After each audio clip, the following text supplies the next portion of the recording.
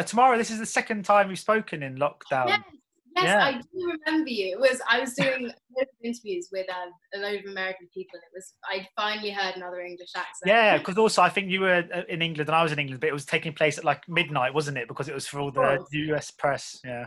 Well, Yeah, this is more civilized. times. It was so late in the evening.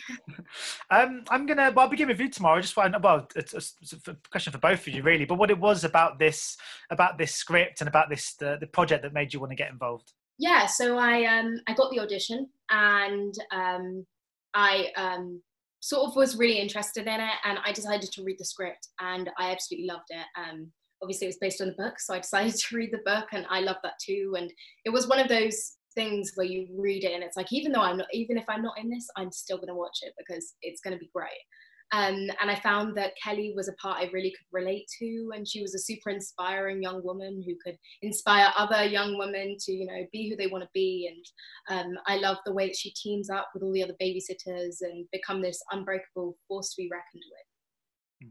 Yeah. What was the What was the main draw for you, Oona? Yeah, the main draw, I mean, for me, it would probably be my character as well. I think Liz is such a strong, um, just crazy cool, and like, I mean, the way that she dresses, her motorcycle, it was just like the kind of character that I wanted to do. I mean, these babysitters are essentially superheroes um, to me, and like, I just was so excited, and I was excited to work with another cast of kids, and because that's always fun. Um, but yeah, I think it was probably Liz because I think she just is such a cool, crazy pink haired young woman. And I was just really excited to maybe take that on. And then I did. So it was cool. So did you, uh, Oona? Did you ever have sort of nightmares when you were a kid? Was there any sort of recurring kind of monsters that used to visit you huh. in your dream? Um, I don't think I, I I don't know. I don't I never really had nightmares per se. I kind of just had like eerie, creepy like nightmares. Like I know I had a lot of dreams about zombies when I was younger, for sure. Um, but they were never they were never like fast running zombies. They were just like very non-threatening. So I don't know. I don't have like an exact answer to that, but in general, I guess it would be zombies. Yeah. Did you ever dream of zombies Tamara, Tamara when you- when you were younger? No, unfortunately, I did not. Um, I would have liked to see what your dream would have been, Oona, but um, no, I, I I had a couple nightmares as a kid, but not that many. I had a lot of nightmares of like being alone, just like waking up and just no one being on the face of the earth, which was interesting.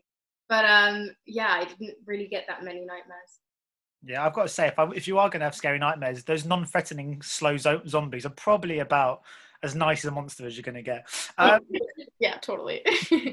Um, so I'm wondering, so I'll start with you Tamara. If you're you're babysitting for the night, you're looking after a young child, and the kid says, "I want to watch a movie," uh, and you get to put on a film that they've never seen that you get to share with them that you meant a lot to you when you were growing up. What are you choosing?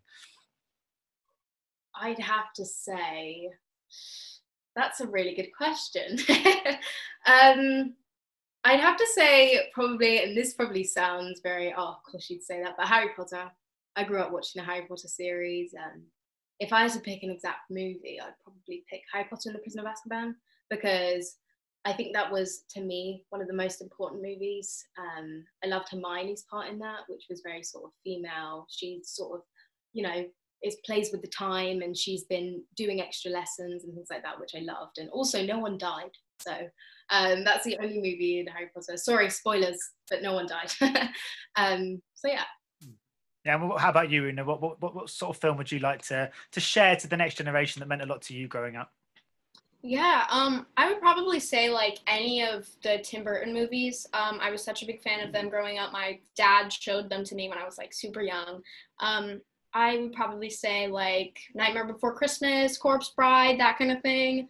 Um, but also, I mean, this isn't really a scary movie, but I really loved Miyazaki movies growing up, and I recently rewatched them, and it, they're just so special, and the soundtracks are so beautiful, and they just there's a lot of memories that I hold um, from those movies, so I'd probably show them that.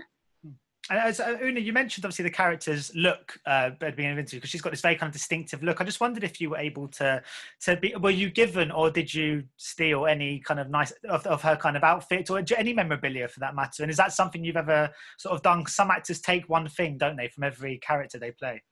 Yeah. Um, I'm trying to think. I don't think I actually took anything from her costume per se, but I remember I took one of like this because on set they'll provide you like these big coats because like they want to keep you warm, obviously. Um, and I remember I kept that coat, and it's such a great coat. It's probably very expensive, something that I wouldn't normally get, but it's a very, it's a very good coat. Uh, Tamara, you mentioned obviously Harry Potter and what it obviously uh, meant a lot to you and you as you've been growing up.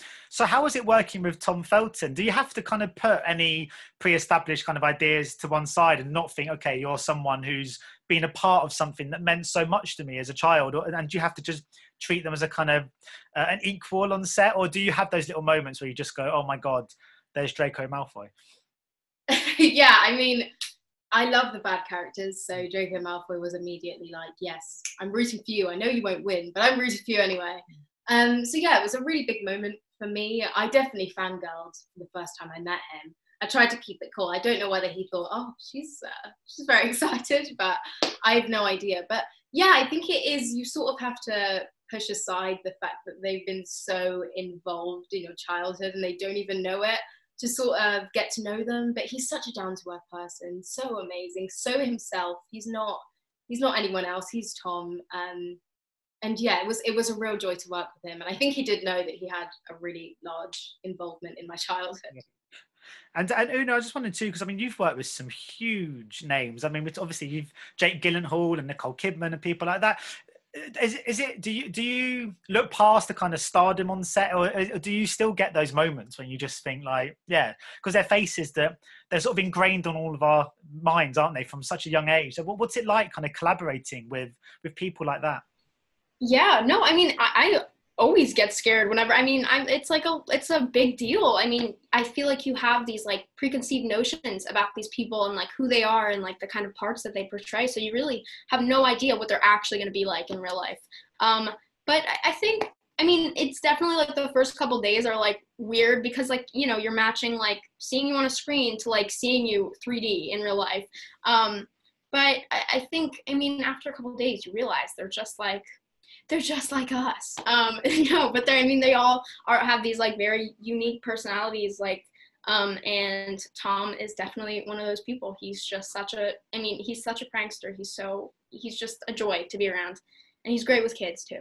So. And uh, and Tamara, I mean, you in in the movie, of course, this this film is about young people coming to the rescue and saving the day in a way that actually the adults probably wouldn't quite know how. And this is quite a tenuous link, but obviously at the moment, you know, kind of in the UK, we've seen like Marcus Rashford, the footballer, who's kind of this young man who's kind of taken on the government and won in terms of giving kids free school meals. And it does feel like when watching the news and stuff at the moment that young people have got a voice at the moment. You know, if you look at the kind of protests and stuff on the TV and everything that's kind of going on in the world, it feels like young people are very much at the kind of the front and center of, of this kind of like this movement and this kind of change we're all striving for. Do you, and it's a question to you both really, but do you both feel a kind of, uh, not a responsibility to be part of that change, but do you feel like your voice is actually being heard? Yeah, definitely. I think as an actor and as someone with a social media and a platform and a, a few couple of followers, um, I think that at the moment I'm trying to um, use the followers as a platform where people can come and learn things. And obviously, the Black Lives Matter movement is absolutely massive at the moment. And so I'm trying to educate young people to to sort of show them that they have a voice. If you can't go out and protest, which I completely understand, you can read books, you can go onto websites, you can call in and sort of petition for people, you can sign petitions, you can really educate your, uh, yourself about this if you can't get involved physically. Um, and I think it's really important right now because obviously the newest generation is coming in with these amazing ideas and having more of a voice than I think we ever have um, I think it's really important to use that voice for change and for good and to really sort of build the world we want it to be in the future for our generation, but for the future generations to come. Yeah, because uh, Oona, I was just going to ask as well because I interviewed the actress Jane Seymour the other day, who's obviously, you know, she's been a, uh, around for a long time. She's a real kind of veteran actress and, and, a real star of the kind of screen and old Bond movies and stuff. And we, we got onto the subject of the fact that when she came into the industry, her only platform in many ways was just her movies. But how, how does it feel to be rising in an, through an industry at the moment that has social media? Because in some ways, that's become a whole other side of it, hasn't it? It's not just about your output from as a professional point of view, but also who you are kind of in the public eye on social media.